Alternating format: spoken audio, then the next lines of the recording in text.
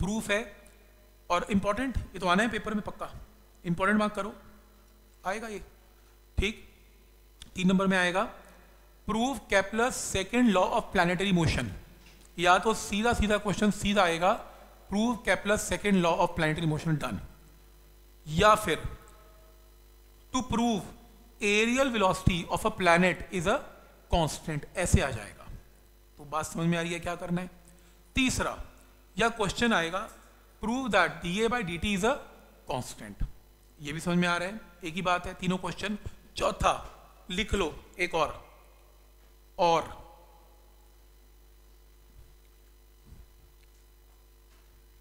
proof geometrical significance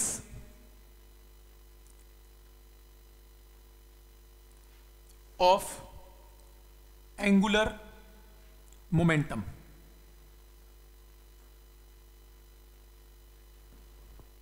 Prove geometrical significance of angular momentum.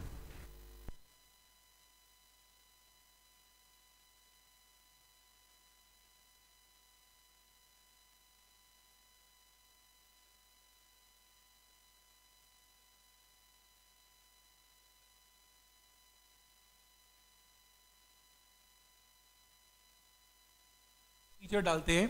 prove geometrical significance of angular momentum तो इसका answer भी यही है to prove areal velocity of a planet is a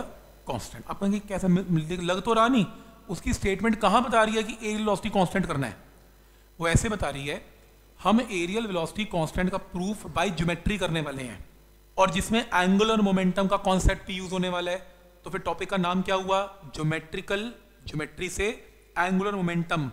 का significance क्या है तो to prove areal velocity of a planet is a constant या ये टॉपिक का आंसर एग्जैक्टली सेम होगा तो आपने क्या करना है इसको करने से पहले साइड पे एक थ्योरी लिखी हुई है वो लिखनी नहीं है लिखनी है लिख देना प्रॉब्लम नहीं है बड़े कॉन्सेप्ट समझ लो बड़ा इंपॉर्टेंट कॉन्सेप्ट है बार बार यूज भी होगा कि अगर कोई भी प्लानट सन के आसपास घूमता है तो मैंने जाके तो अर्थ को पकड़ा नहीं और टॉर्क जनरेट करवाया नहीं हमको एक्सटर्नल टॉर्क तो लगा नहीं रहे इंटरनल ग्रेविटेशन की फोर्सेज हैं जो इसको घुमा रही हैं तो टॉर्क क्या होता है external D L by D T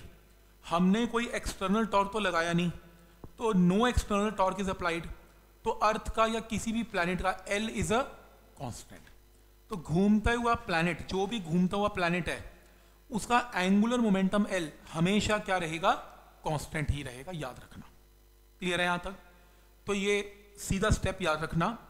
किसी भी प्लानिट का L is always a constant चलो अब प्रूव करते हैं प्रूव में काम करेंगे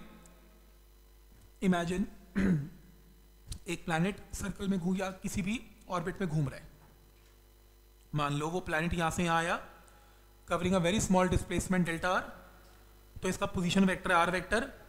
इसका नया position vector R dash vector लिख लो आर प्लस डेल्टा आर लिख लो कोई फर्क नहीं है इसमें तो इसका एरिया क्या बनेगा एरिया वेक्टर होगा half into base into height तो बेस इसको आर वेक्टर और इसकी परपेंडिकुलर हाइट को मानते हैं डेल्टा आर वेक्टर और यहां पर मल्टीप्लाई में क्रॉस प्रोडक्ट आएगा क्योंकि एरिया इज अ वेक्टर और वेक्टर में डॉट नहीं आता वेक्टर में क्या आता है क्रॉस पहला स्टेप में half into base into height से एरिया आ गया हमने बहुत छोटा एलिमेंट लेते हैं जब तो स्ट्रेट होता है ना और रेडियस के साथ टेंजेंशियल भी होता है तो 90 डिग्री भी होता है ठीक आपने कुछ नहीं करना दो लाइनों का स्टेप है इसमें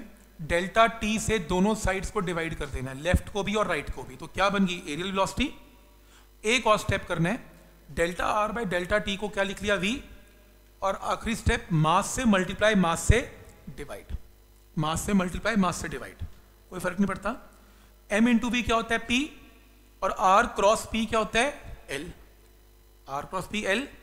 तो मुझे पता है कि जब कोई प्लानट सर्कल में घूमता है या ऑर्बिट में घूमता है तो उसका एल क्या होता है कॉन्स्टेंट टू और एम भी क्या है कॉन्स्टेंट तो एरियल वेलोसिटी भी क्या है कॉन्स्टेंट प्रूव हो गया ठीक